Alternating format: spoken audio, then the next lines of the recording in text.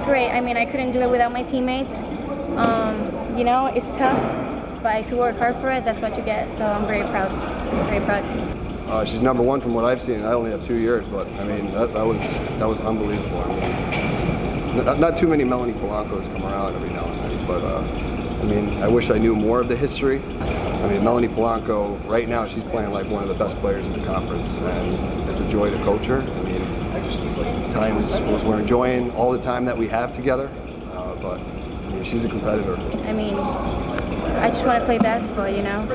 I want to do the best on the court, so that's what I did. I don't know. I don't know who was thinking about it more, her or me, I, and the team. I mean, it, it's just been one of those things where, you know, it was four points. We thought it was going to be boom, boom, boom, uh, but you know, that was the longest four points that she's probably ever scored in her life. She's the best I've seen.